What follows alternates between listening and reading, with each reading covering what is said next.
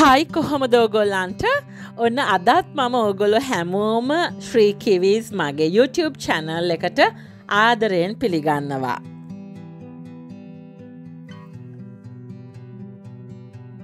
ඔබල හැමෝම ආසාාවෙන් ඇති නිවසීලන්් එන්න. ඒ වගේම නිවසීලන්් එන්නේ කොහොමද? මොනවද? මොන වගේ ඔප්ෂන්ස්ද තියෙන්නේ? මේ හැම දෙයක්ම ඔගොල හොඳටම හොයනවා. ඇති ඉතින් ඔගොල හැමෝගෙම ඒ ප්‍රාථනා ඒ විදිහට මිෂ්ට වෙන්න කියලා ප්‍රාර්ථනා කරනවා. අද මම මේ වීඩියෝකින් ඔගොලයි කතා කරන්න යනවා. නිවසීලන්් වල රැඳෙන්න නම්. මෙහෙ ඉන්න නම් ඔයාට අනිවාර්යයෙන්ම තියෙන්න ඕන කාරණා කිහිපයක් ගැන. ඉතින් මේ වීඩියෝ එකේ දිගටම ඉන්න කියලා මං ඔයගලන්ට ආරාධනා කරනවා. ඔන්න ඉතින් ඕගොල්ලෝ සමහරක් පිට ලංකාවේම ජොබ් එකක් හොයාගෙන මෙහෙට එන්න try කරනවා ඇති. එහෙම නැත්නම් මොකක් හරි course එකක් follow කරන්න ස්ටඩන්් කෙනෙක් විදිහට මෙහෙ එන්න ඔගුලම් බලාපොරොත්තු වෙනවත් ඇති ඒ කොහොම වනත් ඔගුලු හැමෝටම මං අද කතා කරන්න යන කාරණා කිහිපේම වැදගත් වෙනවා. ඉතින් ඔන්න ඔයා පළවනියටම කරන්න ඕන දේ තමයි වා ස්ටඩන්ට එන්න ඕනත් ජොබ් එකක් ඔයාගෙන එන්න ඕන වනත් ඔයා නිවසිලන් ෆෝමැට් එකට ඔයාගේ CV එක හදාගන්න ඕන. ඉතින් අපි හැමෝම දන්නවා දැන් ලංකාවේ අපේ නම් CV එකක් අඩුම ගන්න කොළ හතරක්වත් දිගයි. හැබැයි නිවසීලන්ඩ් වල එච්චර දිග CV එකක් පාවිච්චි කරන්නේ නැහැ. හරිම අත්‍යවශ්‍ය තොරතුරු කිහිපයක් විතරයි ඒ සීවියකට අපි ඇතුළත් කරන්නේ. ඉතිං උත්සාහ කරන්නේ අර කොළ හතරම කොළ එකකට වැඩිම දෙකකට සීමා කරන්න. ඉතින් මං ඔගොලන්ට පෙන්නන්නම් මේ නිවසිලන් ෆෝමැට් uh, එකට සීවිය එකක් හදාගන්න හැටි ඔයා කාටවත් සල්ලි දීලා ලොකු ගානක් නිකරුණේ වියදං කරලා ඔයාගේ සීවිය එක හදාගන්න ඕන්න ඔයාට තනියෙන් මේක කරන්න පුළුවන්. Uh, ඉතින් මම පෙන්නන්නේ එක වෙබ්සයිට් එකක uh, තියෙන ටෙම්පලේට්ස් CV ෆෝමට්ස් විතරයි. ඕට මේ වගේ තව ඕන තරම් වෙබ්සයිට්ස් ඇති. ඉතින් සර්ච් කරලා ඒ ටෙම්පලේට් එකක් ඩවන්ලෝඩ් කරගෙන ඒ අනුව ඕට CV එක හදාගන්න පුළුවන්. Um, ඉතිං um, ඒ තමයි පළවිනිම කාරණය um, අපි බලමු කොහොමද නිවසීලන් ෆෝමෑටිකට සීවිය එකක් හදන්න කියලා. දැම්මං ඕගලන්ට පෙන්න්න යන්නේ කරියර්ස් ගවන්මන්ට්.NC කියන වෙබ්සයිට් එකට ගිහිල්ලා. එතන ගොඩක් තියෙනවා සීවීසන් කවලෙට ටෙම්පලේට්ස් ඉතිං ඔගලන් කාටවත්ම සල්ලිදීලා කරගන්න ඕන්න නෑ වට පුළුවන් තනියෙන්ම මේ වැඩේ කරගන්න. ඒ වගේ මතක තියාගන්න ඔගලන් දැන් අපි ලංකාවෙනං අපේ සීවියකට අපේ නම ගම ජාතිය දාන්න ඇති දෙයක් නෑනේ. තියෙන විස්තර ඔක්කෝම දානවා. හැබැයි මේ සීවිවලට ඒ වගේ හැම දෙයක්ම දාන්නේ නැහැ.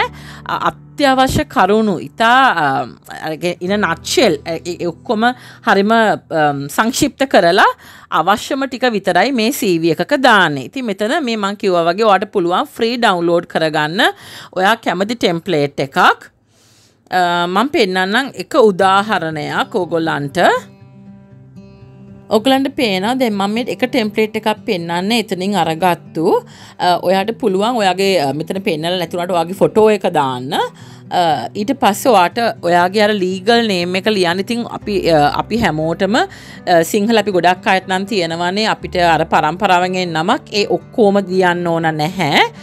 ඔයාට එක ලියන්න ඕන්න ඒක ලියලා ඔයා ප්‍රිෆර් කරන නම අන්ඩලයින් කරන්න පුළුවන්. එහෙම නැත්තන් යුෂුවලි වගේ ෆස් ඇඳ ලාස් නේම එක සර්නම් තන ලියන්න වගේ ඇඩ්‍රස් එක ඒ වගේම කන්ටෙක් ඩීටල්ස් ඊමේලන් ෆෝන් නම්බ එක ඒ වගේම ලිංක්ඩින් ප්‍රොෆයිල් එකේ ලිංක් ලිංක් එකත් මෙතන සඳහන් කරන්න අමත කරන්න එපා.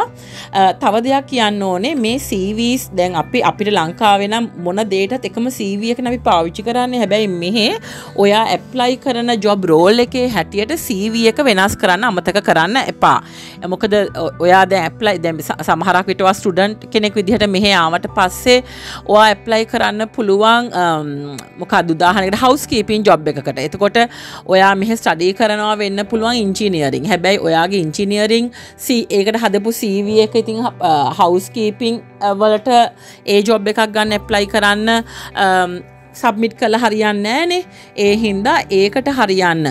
පාහමකක්ද හවස්කීපිං වලට ගැලපෙන සීවි ෆෝමැට් එකක් මේ වගේ ඩවන්ලෝඩ් කරලා ඒකට අදාළව ඔයාගේ සීවිය එක ඔයා හදන්න එන් ඒ කාරණය අමතක කරන්න එපා. ඉතින් ඊට පස්සේ ඔයාට පුළුවන් ඇයි ඔයා මේ ජොබ් එකට ඇප්ලයි කරන්න කෙන මේ ඔබ්ජෙක්ටිව් එක ඔයාලා ලියන්න පුළුවන්. ඒක නැති වුණත් කමක් නැහැ. හැබැයි ගොඩක් වැදගත් ඔයාගේ පර්සනල් ස්ටේට්මන්ට් එක.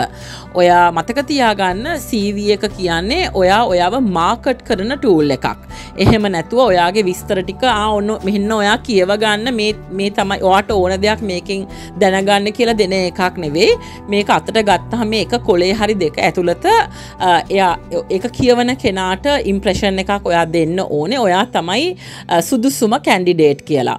ඉතින් මේ පර්සනල් ස්ටේට්මන්ට් එක ගොඩක් දිගට ලියන්න එපා රචනාවක් වගේ වැඩිම පේලි තුනක් එහෙමනම් හතරකින් හරිම කෙටියෙන් ඔයා කවුද කියන එක ලියන්න. හැබැයි ඒ යස් කරන වර්ඩස් ගැන ගොඩක් යාෆුල් වෙන්න. මොක දර මංකිව්ව වගේ ඔයා මේ ඔයා ඔයාව මාකට් කරනවා. ඔයා මේක කියවපු ගමන් එයාට ඔයා ගැන හොඳ ඉම්ප්‍රේෂන් එකක් ඇතිවෙන්න ඕනේ. ඊට පස්සේ ඔයාට පුළුවන් ඔයාගේ වර්ක් හිස්ට්‍රිය එක ලියන්න. හැබැයි වර්ක් හිස්ට්‍රිය එක ලියද්දිත් අවශ්‍ය දේ විතරක් ලියන්න. ඔයා එතන කරපු ජොබ් රෝල් එක මේ වගේ බුලට් පොයින්ට් එකකින් ලියන්න පුළුවන්. හැබැයි දිග විස්තර ඔක්කෝම ටික නම් ලියන්න එපා. සමහර අය පුරුදු වෙලා ඉන්නවා මොකක් හරි කම්පනියක වැඩ කරාදී ඒ කම්පනිය එකේ මොකක් හරි යුනියන් එකක් තිබ්බනම් ඒකේ ඔයා සභාපති වෙලා හිටියනම් ඒකත් ලියන්න. ඉතින් ඒ වගේ ඒවා ඇත්තටම ලියන්න ඕනේ නැහැ. ඒක අත්‍යවශ්‍ය කාරණයක් නවා ලියන්න. හැබැයි මම මේ අදහස් කළේ ඔයාගේ ඔයාගේ මේ ස්පෙસિෆික් ජොබ් රෝල් එක විතරක් ලියන්න අනවශ්‍ය දේවල් අඩු කරන්න කියන එක තේරුම් කරන්නයි මම ඒ උදාහරණය ගත්තේ. එහෙම නැත්නම් ඔයාට හිතනවා නෑ ඒක ලියන්න ඕන තරම් වැදගත් කාරණයක් කියලා. යා ඔව් ඔයාට ලියන්න පුළුවන්. ඊට පස් වට පුලන් කොලිෆිකේන්ස් ලියන්න ලංකාය වගේ ඇකඩමික්ද වොකේෂනල් කොලිෆිකේන්ස් කලවෙන් කරන්න ඕන්න ඔගේ කොලිෆිකේන්ස් ටික ඔට ලියන්න පුළුවන්. ද ලංකාවේ සමහරක් අයනං සේවිය එක ඕලිවල් රිසල්ස් ඒලිවල් රිසල්ස් එහෙම ලිය ඒ මොනුවත්ම ලියන්න ඕනෑ ඔයාගේ ඒලිවල් ඉඳ ලයිට පස්සේ හය එඩුකේෂනල් කොලිෆිකේන්ස් හරි වොකේෂන කොලිෆිකේන්ස් ඒ තියෙන එක හරි කෙටියෙන් ලිවනං ඇති ඒ වගේම තවදයක් අමත කරන්න එපා ඉතින් ඔයාගේ ශ්‍රී ලංකන් ඒ කොලිෆිකේෂන් නිවසිලන්ඩ් වලට මැච් කරන්න එනිසෙට්කිවේ කරලා ඒ අදාළ ලෙවල් එක ලැබුණට පස්සේ ඔයා ඒකත් ඔයාගේ කොලිෆිකේෂන එක ළඟ සඳහන් කරන්න. තවට පුලන් ස්කිල්ස් ලියන්න. ඉට පස්සේ වැද්ද ගත්ම කාරණය තමයි රෙෆරයිස් දෙන එක. එකැනි ඔයා රෙෆරන්ස් දෙන්න ඕනේ අඩුම ගානේ දෙන්නෙක් පස් සඳහන් කරන්න ඕන. ඉතිං ගොඩක් හොඳයි ඔට නිවසීලන්ඩ් වලින්ම කාවහරි හොයාගන්න පුළුවන්නම් එයා එයා ගොඩක් අද අපි හිතනේ හොඳ ජොබ්ස් කළ එහෙම එකක් නෑ. එහෙම එහෙම හොඳ ජොබ්ස් කියන මානසිකත්වෙන් හිතලා එන්න එහෙම ජොබ් එකක් කරන කෙනෙක මේකට දාන්න ඕන කෙ එකක් නැහැ. හැබැයි එකක් ගොඩක් වැදගත් වෙන්න පුළුවන්. මෙන් ඔයා දැන්වා ඇප්ලයි කරන්නේ හවස් කීපිං හා එක කරනං. එතකොට ඒවා ඒ ෆිල්ඩ එක ඉන්න කෙනෙක්කෝ ඔයාට රෙෆරන්ස් දෙන්න පුළුවන් ඔන්න වටිනවා. ඔයා ටීචිං ජොබ් එක කරනම් ඇප්ලයි කරන්න. ඉතින් ඒ ටීචිං ඒ ෆිල්ඩ එක ඉන්න කෙනෙගේ රෙෆරන්ස් දෙන්න පුළුවන් ඒ වගේ වටිනවා. ඉතින් නිකං ද ලංකාරන අපි කවහර කෙනෙක්ව හොයාගෙන ඉදලා එයාවන මොන රෝල් එකට ඇප්ලයි කලත් දාන්නේ. ඒ වගේ කරන්න එපා මේ සීවිය එක. අදාළ ඒ ෆිල්ඩ එක ඉන්න කෙනෙක් එක දැම්මොත් එතන හොඳයි කියන එකයි මම මේ අදහස් කළේ. ඉති ලංකාය වගේ අපේ මේ ආගමයි ඒ වගේ දේවල් මේ සීවිය එක අපි ලියන්න හැ. ඒ වැඩක් නැති දේවල් අපේ බර්ද් දෙක ඒව මොනුවත් ලියන්න ඕන්න හැ තිවාට පේනවා මේ වගේ මෙන මේ වගේ තොරතුරු විතරයි අපි නිවසිලන් ෆෝමැට් එකේ සීවිහ එක සඳහන් කරන්න කියන එක. ති මේ මම පෙන්ව එක උදාහරණයක් විතරයි මේ ක තමයි කියන එක නෙවේ මේ තරම් ඕන තරන් ටෙම්පලේට්ස් තියෙනවා මේ ට අයිඩියකත් දෙන්නයි මම එක පෙන්නුවේ. දෙවනි කාරණය තමයි ඔයා ඔන්න දැන් එයා පෝට් එකට එනවා. ඔයා දැන් කොහොමරි ස්ටඩන්් විදිහට හරි ජොබ්වීස එකක් කම්බ වෙලා ජොබ් එකකට හරි ඔන්නවා නිවසීලන් එනවා. ඒ ආවහම ඔයා කරන්නම ඕන දේ තමයි නිවසීලන්ඩ් වල පාවිච්චි කරන්න පුළුවන් සිම් එකක් අරගන්න. ඒ තමයි වැද්දගත්ම දේ මොකදවා මෙහාට ආපු ගමම්ම ඕට අයිසොලේට් වෙලා ඉන්න බැහැ වාට කමිනිකේට් කරන්නම වෙනවා. වගේ වැඩටික කරගන්න. ඉතින් ඔන්න සිම් එකක් ගන්න. මේ සිම් එකක් ගන්න එක හරි ලොකු වැඩක් නෙමෙයි. එයා පෝට් එකේදිනං මිල ටිකක් වැඩි. එක ලොකු වැඩියක් නෙමේ හැබැයි එලියෙන් ගන්නවට වඩා ටිකක් වැඩි කියලා මන්දන්නවා යාපෝට් එකෙන් සිම් එකක් ගන්නකොට. ලේසියම ඔයාට පුළුවන් මෙහෙ තියෙනවා කන්වීනියන් ස්ටෝස් එහෙම නැත්තං මේ ඒ Uh, ඒ සිම් ටෙලිකොමිනිකේෂන් ඒජන්සිස් ඕන තරම් තියෙනවා ඒ තැනකින් හරි ඔයාට මේ සිම් එක ගන්න පුළුවන්.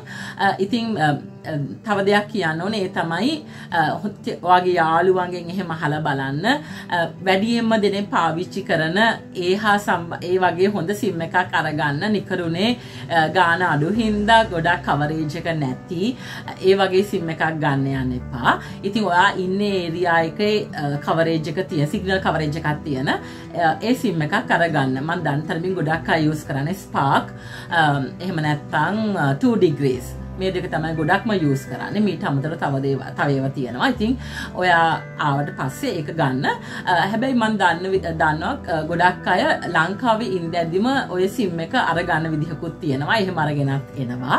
ඉති එචර වද වෙන්න ඕන්නෑ ලංකාව ඉඳම් ඕක අරගන්න කොහොමද? ඕක හොල්ල බලන්න. ඕට මෙහ ආවහම එක ලේසියම් අරගන්න පුළුවන්. ති මට මතකයි මම පලෙන්ට මෙහ ආවහම පාන්දරණ මෙහිට ලෑන් කළේ. එතකොට ගොඩක් තැන් වහලා මං යාපෝට් එක එන්නනේ මේ අරගත් ඉතින් එලියට ආවහම 24 hours convenience store එකක් තිබ්බා. ඒකෙන් අරගත්තේ යා මගෙන් පාස්පෝර්ට් එකක්වත් වීසා එකක්වත් මොනවත්ම ඉල්ලුවේ නැහැ. නිකම්ම අරගත්තා. හැබැයි සමහරක් අය නම් කියනවා එහෙම ලේසියෙන් සිම් එකක් ගන්න බෑ. යාගෙන් පාස්පෝර්ට් එක ඉල්ලුවා. එහෙම. හැබැයි මම දන්නේ මගේ එක්ස්පීරියන්ස් එක එන්නම් මම දන්නවා. ඒ මොනවත් ඕනෑ ලේසියෙන්ම ඔයාලට සිම් එකක් අරගන්න පුළුවන්. ඒ විතරක් නෙමෙයි දැන් සිම් එක කියද්දි මතක් කරන්නම්. ඉන්ටර්නෙට් ප්ලෑන් එකකුත් ලංකාවෙදිම ඔයාට ඔන්ලයින් චෙක් කරලා ඒක ලෑස්ති වෙලා එන්න. මොකද මෙහෙ අනිවාරෙන් ඔයාට ඉන්ටර්නෙට් නම් තියෙන්න්නම ඕනේ. ගොඩක් තැන්වල ෆ්‍රී ඉන්ටර්නෙට් තියෙනවා. ඒ වුණට වාට ගෙදර යස් කරන්න වයින්න තැන යස් කරන්න. ඉතින් ඉන්ටර්නෙට් ප්ලෑන් එකකුත් අරගන්න අමත කරන්න එප. දැන් මේ දවස් වල නම් අන්ලිමිට ඩේට ගන්න පුළුවන්. ටඩිග්‍රීස එකෙන් අරගන්නවන මම දැක්ක මේ ළඟදි මංගි හාම ඩොලර් හැටක් හැටක් හරි පණහක් හරි තමයි ගෙවන්න තිබුණේ. අන්ලිමිට දරගන්න ගන්න පුළුවන්. ඉති එක ලොකු ගානක් නෙමෙයි. එක ලේසියෙන් අරගන්න පුළුවන්. එච ලොකු වියදමක් යන්නෙත් නෑ. ඔන්න පලට මාප්පු ගමන් සිම් එක ගන්න අමතය කරන්න එපා. ඉතින් දෙවනි දේ තමයි ඔයා සිම් එක ගත්තට පස්සේ කරන්න ඕන IRD නම්බ එක අරගන්න එක. ඒ කියන්නේ ටැක්ස් ගෙවන්න ඕනේ මෙහි ඉන්න හැපි හැමෝම ඉතිං ටැක්ස් ගෙවන්න හින්දා IRD නම්බ එක කරගන්න ලංකාවේ ටින්න එක තියෙන්නේ අන්න ඒ වගේ තමයි මෙහි IRD නම්බ කියන්නේ ඉතින් ලංකාවිදං ඔයා දැන් නිවසිලන් එනවනම් මතක ඇතුව ඔයාගේ ටින් නම්බ එක අරන්ගන්න මොකද මෙහි IRD එක ගන්න. නම්බ කරගන්නවා ඇප්ලයි කරනකොට ඔයාගේ ටින් නම්බ එක ඒගොලෝ හනවා මට කලින් කියන්න අමතකුණාන මේ කන්වීනියන් ස්ටෝ කියන්න මොකක්ද කියලා. කන්වීනියන් ස්ටෝ එකක් කියන්නේ මේ ලංකාවේ ග්‍රොසරි ස්ටෝ එකක් වගේ හැම දෙයක්ම ගන්න පුළුවන් පොඩි ස්ටෝ එකක් තමයි කන්වීනියන් ස්ටෝ කියන්නේ. සිම් එකක් ඒ තැනකින් අරගන්න පුළුවන් හැමතරම් වගේ කන්වීනියන් ස්ටෝස් තියෙනවා. ඉතින් ආපහු අපි කතා කරමු IRD නම්බ එක ගැන. IRD නම්බ එක ඔයාට ඔන්ලයින් ඇප්ලයි කරලා අරගන්න පුළුවන්. මම ඔයාට ඒ ලින්ක් එකක් මෙතන දාන්නම්. මම පෙන්නන්නම් වෙබ්සයිට් එකට ගිහිල්ලත්. කොහොම දෙක මොන වගේද කොහොම දෙයක් කරන්න ඕනේ කියලා. ඉතින් මේක ඔන්ලයින් කරන්න නැත්නම් ඔයාට ඔයාට මේ පෝස්ටල් ඒ මාර්ගිනුත් මේක මේක යවන්න පුළුවන්. හැබැයි එකට දවස් දහයක් වගේ වර්කින් ඩේස් 10 වර්කින් ඩේස් වගේ යනවා. ඊටත් වඩා වැඩි වෙන්නත් පුළුවන්. ඒ විතරක් නෙමෙයි මෙහි පෝස්ටල් නං ඒක මත ඩිපෙන් වෙන නම් බැහැ මොකද ලියුම් නැති වෙනවා. එහෙමත් දෙවල් වෙලා තියෙනවා. ඒ හින්දා ලේසී ඔන්ලයින් ඇප්ලයි කරලා ඒ අරගන්න එක. මොකද විදින් ටූවර්කින් ඩේ සයාඩි නම්බ එක ලැබෙනවා. කෙනෙට ඇප්ලයි කරට පස්සේ සහරක්කට අත් උදේ ඇප්ලයි කරහම හවසත් ඒක ලැබෙනවා. ඉතින් ඒ හින්ද ඔන්ලයින් ඇප්ලයි කරන්න පුළුවන්. අයාඩි නම්බ එක ගන්නඇතු ඉන්න නං එපා.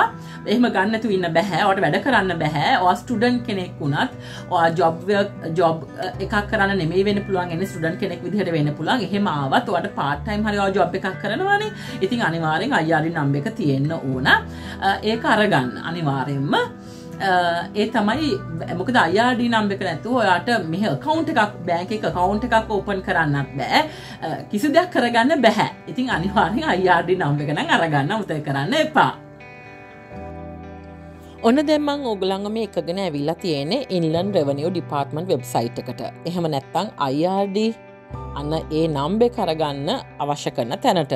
ඉතින් මෙතනදී ඔයාට මේ අයාරි නම්බේ කියන්නේ මොනවාද? මේක මොකද වෙන්නේ? මේ ගන්න කොහොමද? මේක ඇප්ලයි කරන්නේ කොහොමද? මේ ඔක්කොම විස්තර මෙතනවාට අරගන්න පුළුවන්.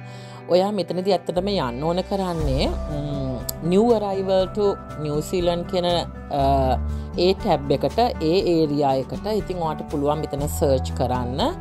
නිවරයිවල්ට නිවසීලන් ඊට පස්සවාට මෙතන විස්තරය තියෙනවා කොහොමද ඇපලිකේෂන එක සබ්මිට් කරන්න ඕන කියලා. මේ ලිංක එක ලිංක එකක් තියෙන එක කලික් කළ හම ඒවාගේට ස්ටෙප් බයි ස්ටෙප් මේක ඇතරම අව හොඳට විස්තරාත්මකෝ එක්ගෙන යනවා. මේක කියවල මේක තනියෙන් වාට කරගන්න පුළුවන් දෙයක්.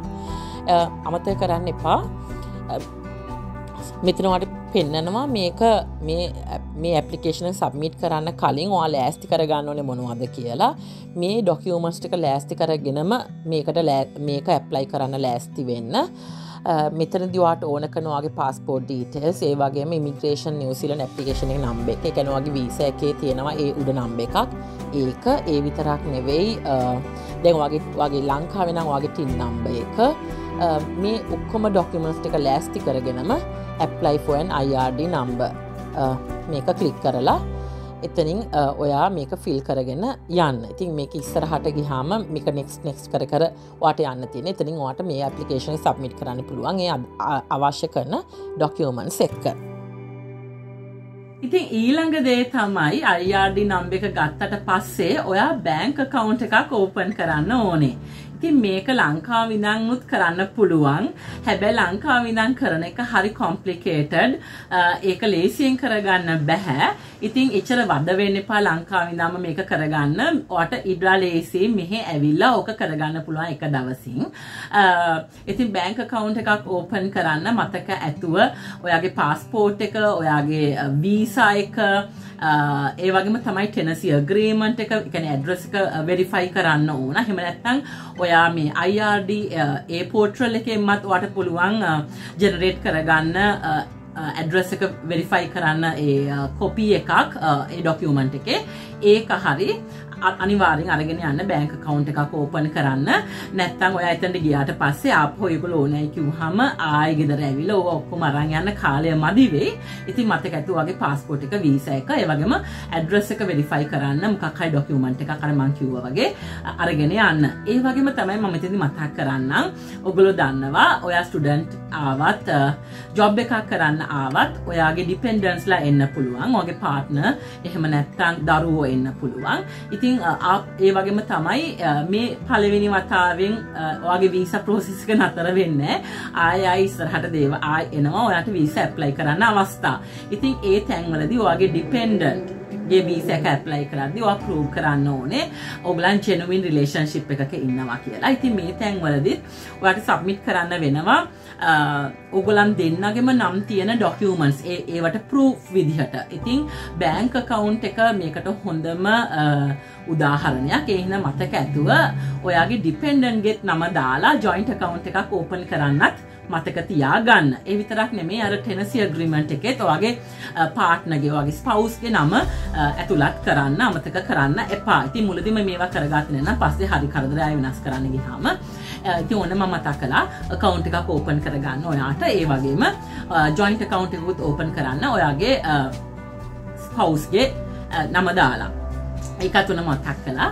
ඉතින් ඔන්න බෑංක කවුන්් එක හදාගත්තට පස්සේ තව දෙයක් කියන්න නේ තමයි බෑංක කවුන්් එක තමයි ඉතින් මෙහෙ වේජ සැලරි මේ දේවල් එන්නේ. ඉතින් ඒහින්ද අනිවාර්යම කවුන්් එකක් තියෙන්න ඕන.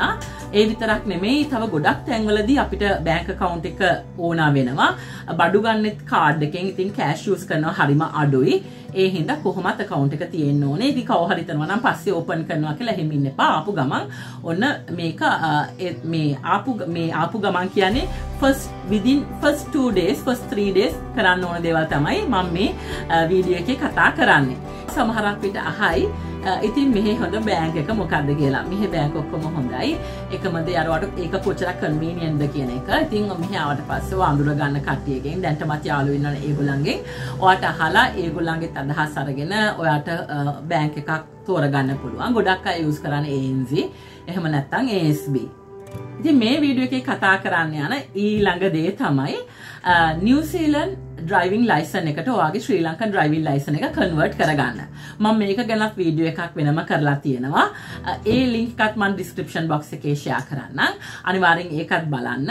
ඔය කායක ගති නැතිවුණත් කමක් නෑ අනිවාරෙන් මතක ඇතිව ඩ්‍රයිවින් ලයිසන එක නම් මෙහට කන්වර්ට් කරගන්න. මොකද ඩ්‍රයිව ලයිසන එක හරියට මෙහ අයිඩෙන්ටි කාඩ් එකක් වගේ තමයි. ඒක තමයි හැම තැනකදිම අයිඩෙන්ටිය එක වගේ ප්‍රූ් කරන්න අපි යස් කරන්න. වෙනම අදැන් අපේ ලංකාවේ නැශනල් අයිඩෙන්ටි කාඩ් එක තිබ්බට මෙහෙහෙම එකක් නැහැ. ඉතින් මෙහ යස් කරන්නෙම ඩ්‍රයිවර්ස් ලයිසන එක. ඒ හින්දා ඔන්න මතක ඇතුව එක ලංකාව එක කන්වර්ට් කරන්න. ලංකාව එකක් නැත්තම්. එතකොට මෙහෙ අලුතෙන්ම ඩ්‍රයිවින් ලයිසන එකක් හදාගන්න ඕනේ. ඒ වගේම තමයි ඔය මගේ වීඩියක බලද අනි මංකිවර ඩ්‍රයිවස් ලයිසන කන්වර්ට් කන වීඩියක බලදවට තේරෙයි. ඔයාට මේ මොකක්ද ඒක ප්‍රසේජය එක කියලා ඒක කරගන්න ඔන්න අමතය කරන්න එපා. ඉතින් මේ වීඩියෝකෙන් අපි කතා කලා ඔයා නිවසිලන් වල ඉන්නවනං ඔයාට තියෙන්නම ඕන දේවල් පහක් ගැන. පළවෙනි එක තමයි නිවසීලන් වල ෆෝමැට් එකකට හදපු ඔයාගේ සීවිය එක. දෙවනි එක තමයි නිවසීලන් සිම් එකක්. තුන්වෙනි එක තමයි ඔයාගේ IRD නම්බ එක. එතකොට හතරවෙනි එක තමයි නිවසිලන් බෑංක එකක ඕපන් කරපු වාගේ බෑංක කවුන්් එක. අන්තිම එක පස්වනි එක තමයි ඔයාගේ ශ්‍රී ලංකන් ඩ්‍රයිවින් ලයිසන එක මේ නිවසිලන් ඩ්‍රයිවින් ලයිසන එකකට කන්වර්ට් කරගන්න. කොහොමත් මට ලයිසන එකක් නැත්තම් මතකැතුව මෙහෙන් අලුතෙන්ම ඔයා ලයිසන එකක් අරගන්න. මොකද වගේ ඩ්‍රයිවින් ලයිසන එක තමයි ඉස්සරහට ඔයාගේ අයිඩෙන්ටි කාඩ් එකක් විදිර ඔයා යස් කරන්න යන්නේ. මං හිතනවා මේ වීඩියෝකෙන් වඩ හොඳ දැනුමක් ලැබුණා කියලා. එක කොහොමද කරගන්න කියලා. විශ්ෝල්ද බෙස්ට අපිතින් මේ වගේ තවත් ඉන්ෆර්මටිව් වීඩියෝ එකකදී හම්බවෙමු.